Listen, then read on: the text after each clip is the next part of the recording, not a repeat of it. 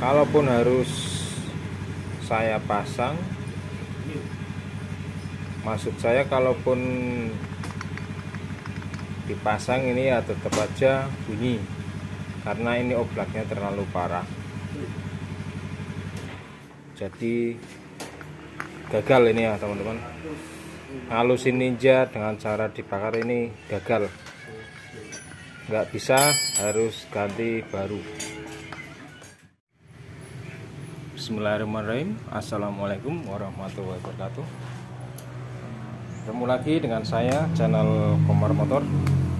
Channel yang berisikan tutorial tentang sepeda motor ya. Hari ini kedatangan Ninja RR Keluhannya sehernya kemplotak atau sehernya bunyinya kasar.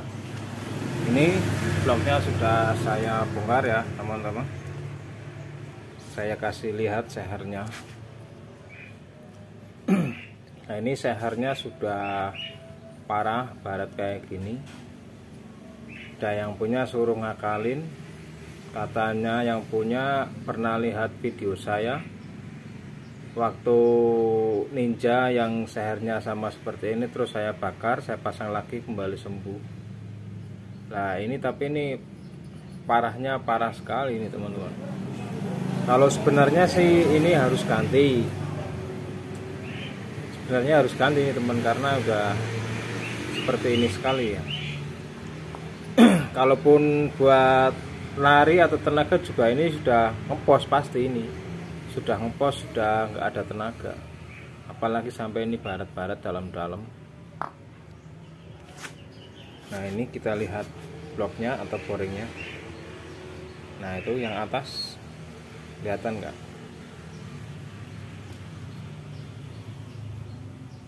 Nah yang itu baret-baret parah sekali. Nah yang bawah yang atas juga barat semua. Nah ini saya juga akan mencoba ini ya teman-teman. Saya coba bakar lagi. Kalaupun sembuh ya Alhamdulillah. Kalau nggak sembuh ya nanti saya bilang sama yang punya harus ganti biar sembuh. Total atau enggak bunyi ngeletek lagi karena ini ngeleteknya sangat keras sekali. Dari jauh waktu motor datang ke bengkel aja saya udah dengar suaranya kletek kletek kletek kletek kletek kletek pas saya samperin yang punya mas ini biar halus seperti di video-video sampean yang sebelumnya yang itu. Aduh kan? Ya kan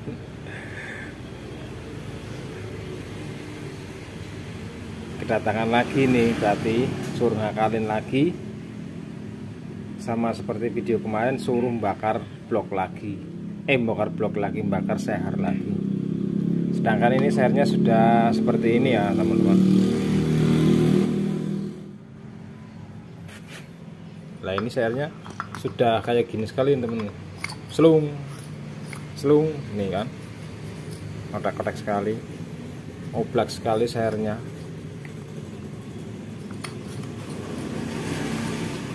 saya akan coba lagi ya ini teman-teman. Walaupun sudah kayak gini akan saya coba nanti halus atau tidak. Kalau nggak halus ya terpaksa ganti blok atau enggak di overboss tergantung dari yang punyanya. Nanti mau di overboss di ganti blok. Kita coba akalin seperti video-video saya sebelumnya ya teman-teman. Kita bakar kalau ini nggak bisa bakar tok ya teman-teman. Biasanya belakangnya saya ketok. Sudah habis bakar terus belakangnya saya ketok pakai kunci sok oke kita coba bakar ya teman-teman sehernya. Kalaupun nanti nggak sembuh ya. Karena ini emang emang harus ganti iya. Ya mau bakar seher tapi kompornya lagi buat masak kita tunggu ya. Tunggu sebentar nanti setelah selesai masak kita bakar kompor eh bakar kompornya. Bakar sehernya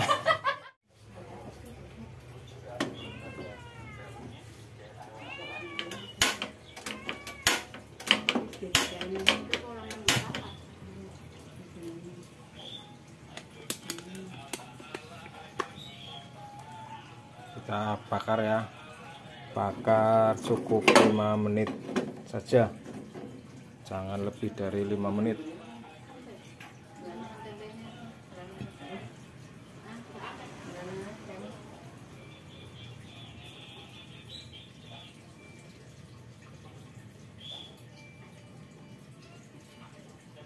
Kita tunggu sampai 5 menit ya. Oke ini sudah 5 menitan. Kita matikan nah, kita masukkan ke bloknya.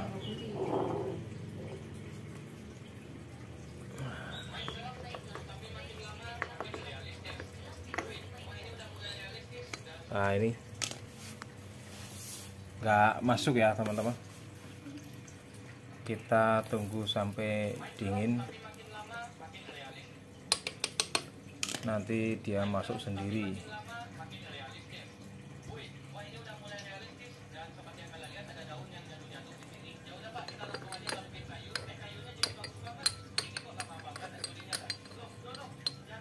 kita biarkan saja ya teman-teman biar dingin dulu.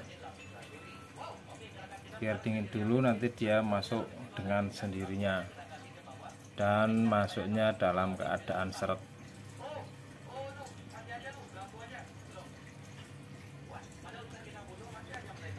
Kita tunggu dingin dulu ya teman-teman.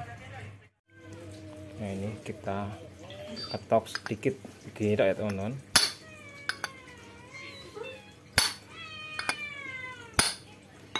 kita masukkan ke sini. Masukkan ke bloknya. Nah itu masih agak longgar. Nanti kita ketok lagi biar seret. Oke jadi teman-teman ini udah saya bakaran sudah saya ketok. Tapi ini gagal ya teman-teman.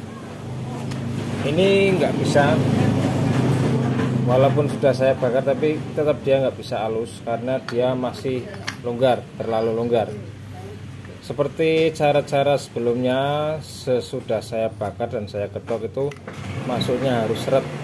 Nah ini karena sudah longgar sekali kita mau pukul lagi takutnya malah nggak kuat. Ini juga pecah.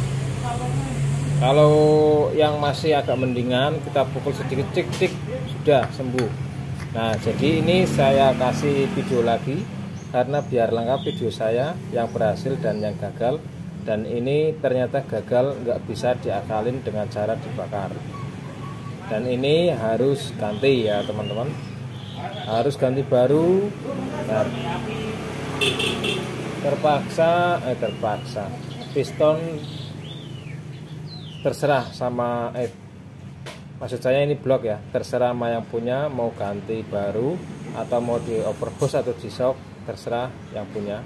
Dan ini piston harus ganti baru.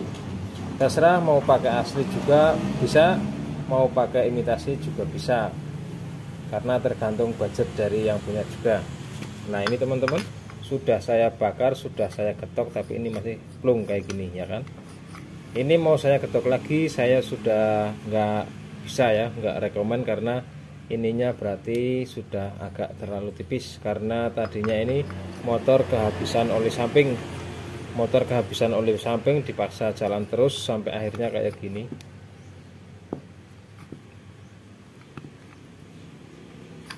Nah ini makanya cara ngalusin tik ngalusin piston atau suara kasar pada mesin ninja enggak selamanya bisa diakalin ini saja saya nggak berhasil alias gagal.